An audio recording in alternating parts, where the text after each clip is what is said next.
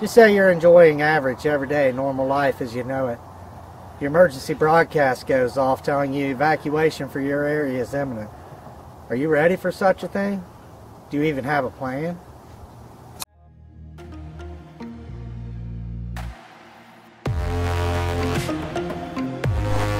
I just have one question. Are you ready?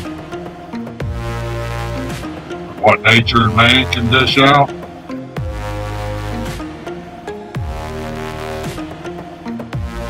Even if you only had a short window of time to get out?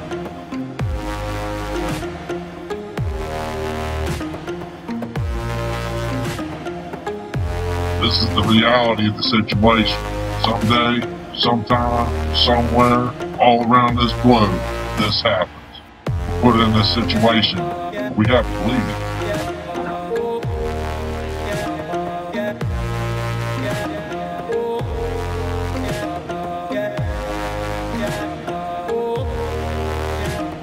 If you live in the big city, suburbia USA, or the edge of the planet, middle of nowhere. The point is, you have to have a plan. Having a plan to evacuate your home and ensure that your family, yourself, can safely get away in an emergency situation. That's key. If you don't have a plan, get your pen, get your paper, sit down, relax, get comfortable, take notes. Because that's exactly what we're going to teach you. How to build your plan.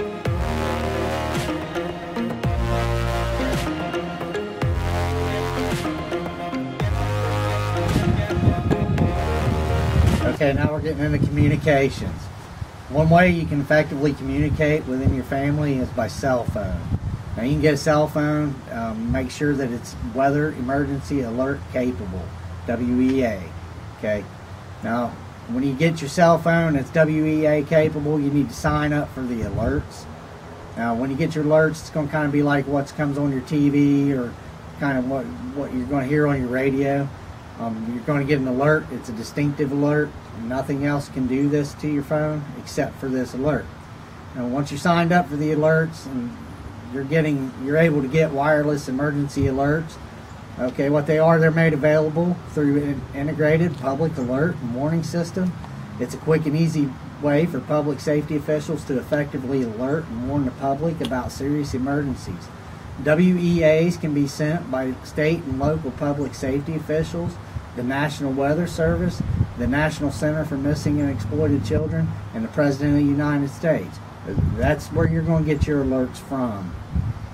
Okay, now they can come in three alert categories imminent threat, amber, and presidential. Now make sure that your phone is WEA capable so you are capable to get all these alerts in case of an emergency. One important thing about having a phone is that you can put everybody that you need to get a hold of in a group. What, what that's going to enable you to do is send out one message and everybody will receive it. Because if something happens, what happens is everybody's trying to dial and call and, and things are getting crazy and it's going to jam up the lines. One message doesn't take as much bandwidth as the whole, you know, phone call conversation. So that's what makes a phone great. You can message back and forth if you still have service available that and let each other know who's safe, who's, you know, the situation at hand. Bad part is, if these things do not have service, they're absolutely useless. Now, for another form of communication, what you can invest in is a set of walkie-talkies. You can get these in different mile ranges and things like that that may be suitable for you in a situation where you can communicate one with the other.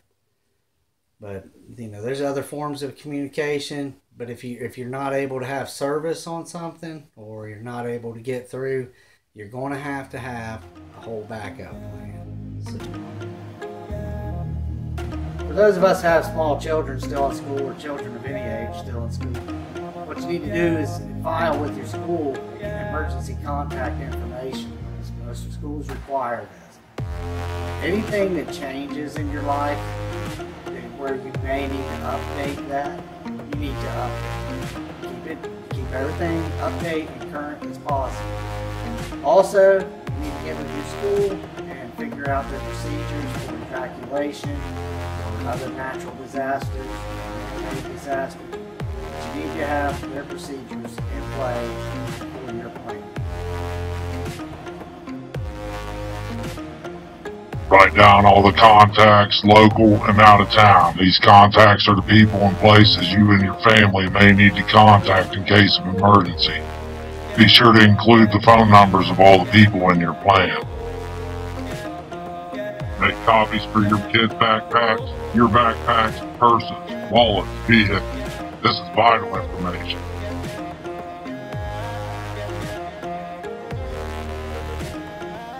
You have fun yet? Now it's time to build that kit. Your kit's going to have the basic needs for survival.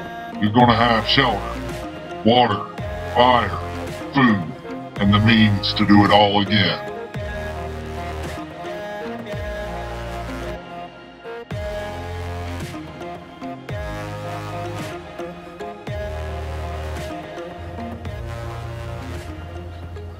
Okay, in this section, what we're going to cover is building a kit.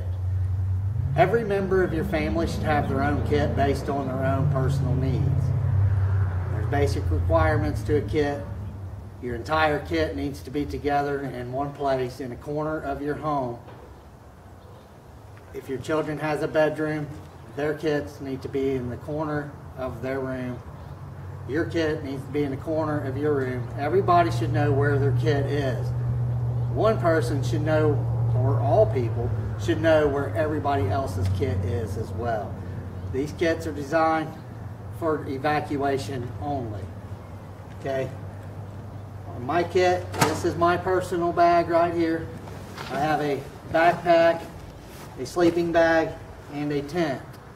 I'm going to pack the tent. The plan is we can all fit in this tent, but I'm going to have the tent with me. Each person should have a sleeping bag.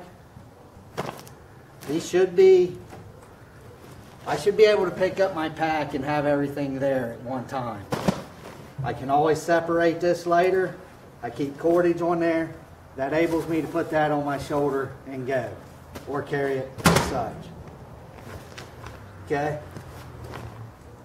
Now for my personal kit, what you need to keep in mind is you need water, food, shelter, and be able to get fire. I have substantial food in here. I have enough food to last me for three days in this pack. I also, to, for weight on the pack, I have three bottles of water. That's enough to get me through one day. I have a means for fire. I have Vaseline cotton balls. I have a lighter, a Bic lighter, and a baggie in my pack. I have some canned foods, and I have some dry foods. And I have foods that are in pouches. Okay, now in my pack itself, keep in mind, you, need to at least have a three-day supply of stuff with you. Now, it's going to be hard to carry three gallons of water on your back. You've already got enough to carry. I have some jerky in the top. Okay. Now I have a bandana. Along with my bandana, I have a canteen and a canteen cup. My bandana I can use for many things. But my main reason I have my bandana in here is so I can filter the water that's going in or out of my canteen. I have means for fire, so if I am able to procure water somehow, I can boil it in this, rendering it potable.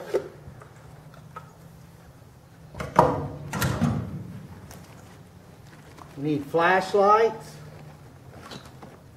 I keep two kinds. I keep one handheld and one for my head. My handheld has a compass. You can also get a compass in many different ways, but This one here has SOS signal, the laser, it has all kinds of features to that. But really, you just need a basic flashlight with extra batteries for that flashlight and a headlight.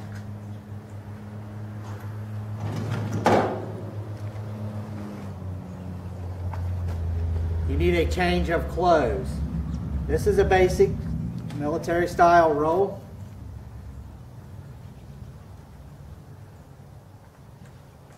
In my pair of socks, I keep toothbrush, toothpaste, deodorant, um, all my hygiene stuff, because hygiene is going to be very important at this time. But you can put all that and your underwear or whatever in your socks and just roll everything up tightly to make a military style roll.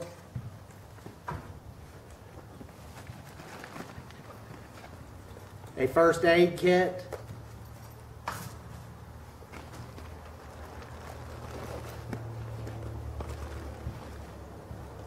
One of these is a ferro rod or a striker. In case my lighter fails, I still have spark.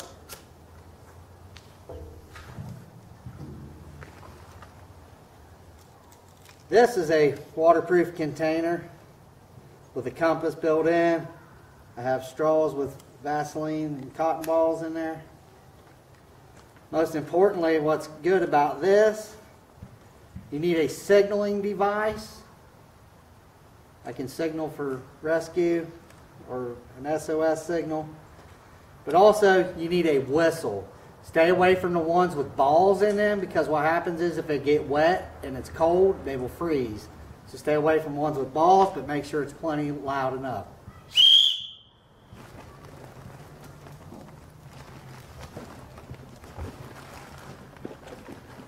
A little bit of cordage, rope, something in case I need to tie things down or carry. A decent sized tarp, big enough to cover my person or my gear or whatever I may need to cover. I have a tarp. That could even be shelter.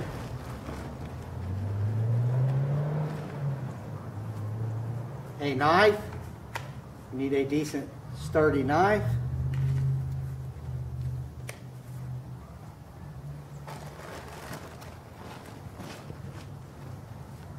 A dry bag. These are very important. If I'm caught in the weather, I want a bag that I can keep my stuff in and keep it dry. Anything that I do not want to become wet, like my extra clothing, my pack.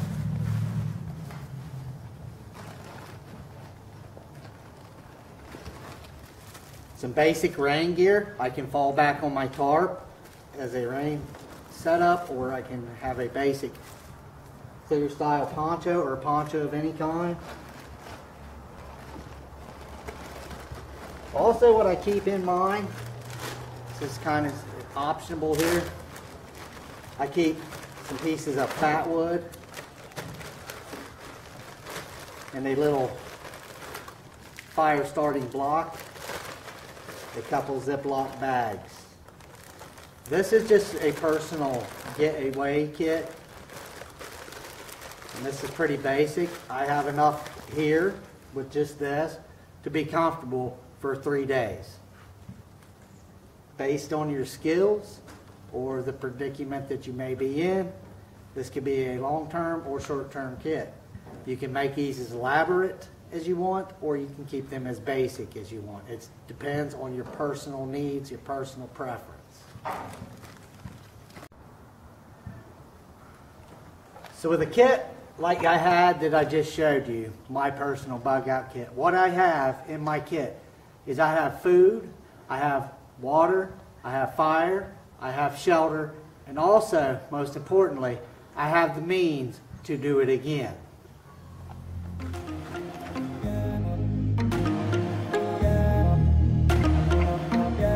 There's just a couple more things to that pack. Gonna need some eye protection, the air becomes contaminated, you're going to need a way to breathe clean air.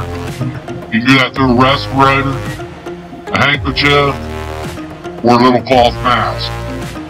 Point is, whichever you choose needs to be tight to your face to avoid contaminants from coming in around your mask. Put your couple 30 gallon trash bags in there, a decent pair of gloves, you're ready to go. Another thing you can possibly use is a bucket. Get a food grade bucket that will have the little ring around the inside of them. This is seal things in pretty tight. You can make your kits in your buckets. Include whatever you need in your bucket kits. You can actually store a gallon of water in the bottom of a bucket. Having the handle makes them easy to carry. Good thing about buckets like this is you can make stashes. Don't put all your eggs in one basket. Just say you, if your pack's in your house, you can't get to your house, then you're going to have to have stashes. You can put these in friends' garages. You can put them in your garage. You can put them wherever you can possibly put a stash. Keep a stash. Keep stuff in your car. Keep a pack. Keep a kit. Keep a pair of good walking shoes. Just in case you're not able to get home, you're ready as long as you can get to your vehicle. Always stay prepared. Think ahead. One step ahead on everything.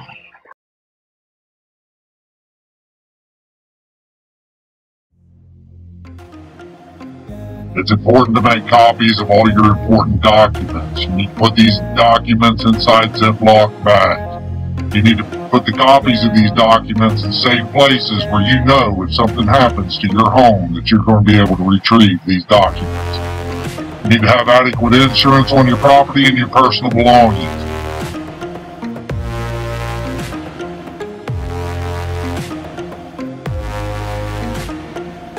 You need to practice drills with your children. Everybody needs to be on the same page. They need to know everyday safety procedures for any natural disaster. They need to know how to evacuate the home safely and effectively. They need to know where to go to meet up in case you're not at the same place when evacuation is imminent. Practicing these skills with your children ensure that in an evacuation situation, that they are ready.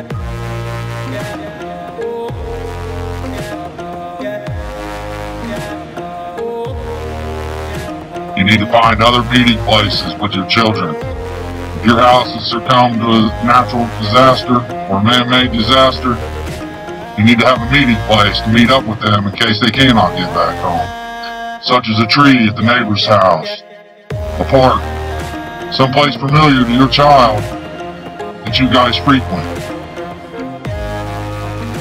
Also, if you have driving age children or other drivers in your group, you may want to think about out-of-town meeting places, just in case your community is succumbed to something terrible.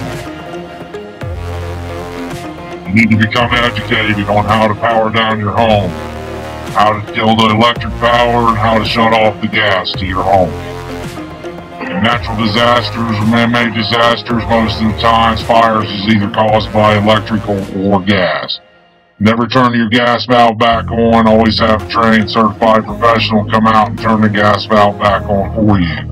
They're educated and they will be aware of if there's any leaks and make sure that everything is functioning properly. Be sure to have extra road maps, things like that. Which ways that you go is in and out may become compromised and may need to find a different path to travel.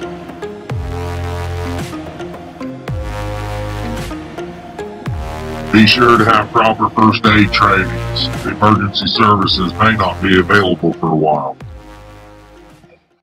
Having a well thought out, well performed plan can also mean the difference between a successful evacuation and an unsuccessful evacuation. You can take first aid classes, learn CPR, things of that nature. That'll help ensure on the first aid part of your evacuation become a part of your community. Make sure your community has a plan in place. If not, take the classes. Help your community set up a plan. If a natural disaster hits, there's going to need to be help from everywhere. Things become a natural catastrophe, and it's a serious thing, and it happens all the time.